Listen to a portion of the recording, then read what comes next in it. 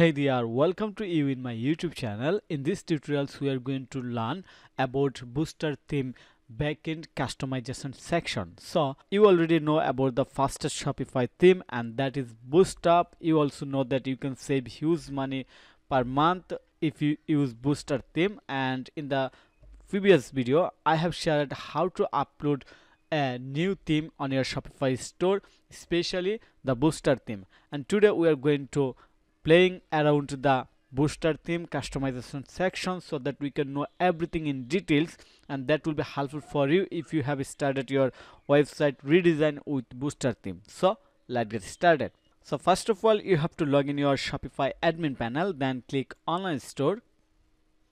Then you have to active or publish the booster theme. So i'm going to click on the publish. Okay we have published the booster theme and we are going to check this font looks here. There is nothing right now.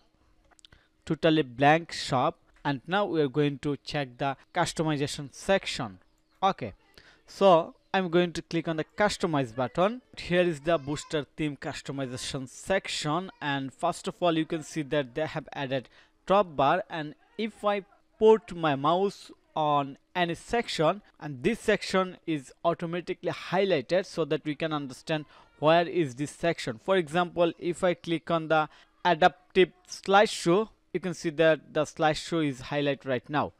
Okay so in the top there is a top bar where we can add free shipping bar or any announcement in here. And under the top bar there have a lot of option. For example we can make it enable for desktop only we can enable it for mobile only or we can enable it for both device. Then we can select the layout like global default box set full width background full width.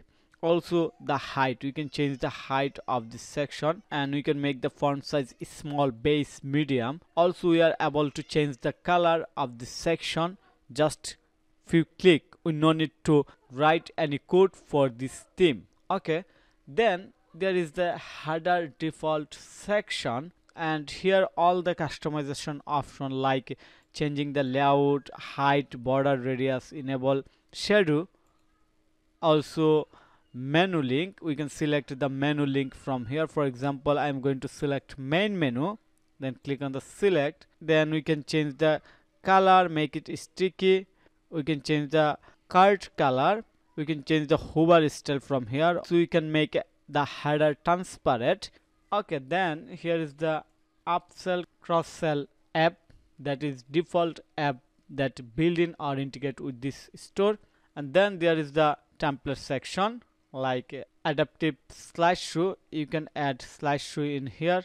Here is the slash slideshow image and text link. Then featured product list collection CTA featured collection image with text featured collection tab CTA also if we click on the add section you can see the all the section there have 20 section and you can see the preview when we put our mouse on any section for example looks the preview of banner section block section CTA section column section column plus text bulk section custom content dynamic grid FAQ featured collection featured collection title featured collection list featured collection tab featured product then grid heading image plus text instagram list collection list logo. We can see more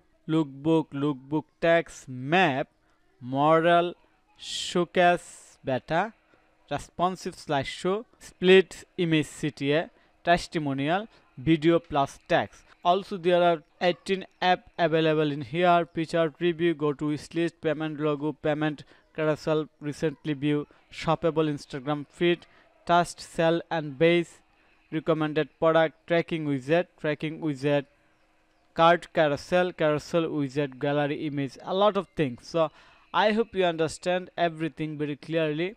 Here is the info base footer section, sub footer, everything available in here and you can change any section as your wish so this is just a basic guideline or playing around of booster theme so you have to touch all the section each section one by one and you have to check all the option change the options by yourself because there is no coding issue.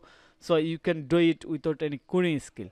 So this tutorial is basically to check around or play around the shopify booster theme customization section. So i hope this tutorials will be helpful if you already purchased the booster theme or if you wanted to purchase faster shopify theme. And if you wanted to learn how to design or build your shopify store without any developer without any coding skill. Thank you for your time to watch this video. If you think this video is helpful then click on the like button and subscribe to my channel. And if you need any service support relevant Shopify, SEO and WordPress then you can contact with me. Have a nice day. Bye bye.